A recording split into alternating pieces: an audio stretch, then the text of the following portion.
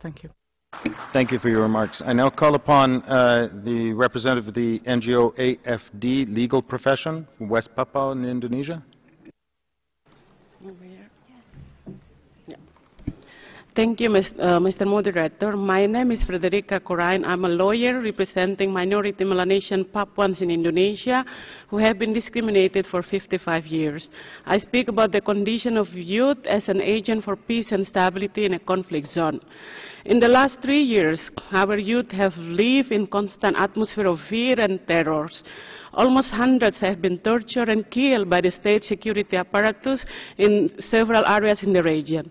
Some of their bodies were thrown into the street as if the victim was killed in a traffic accident.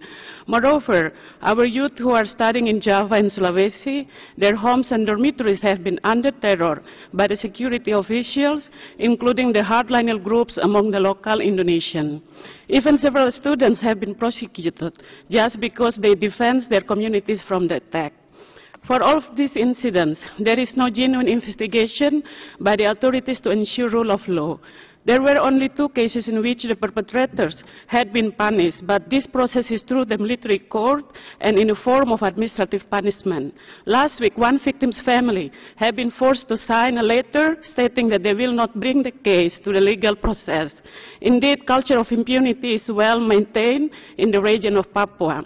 Given this fact, therefore, I would like to recommend the Forum to put attention to the early warning and urgent action procedures recommended by the Committee on Elimination of Racial Discrimination to Indonesia in October 2016, underlining the allegation of the excessive use of force arrest, killings, and tortures of persons belonging to the indigenous people of West Papua, especially the youth.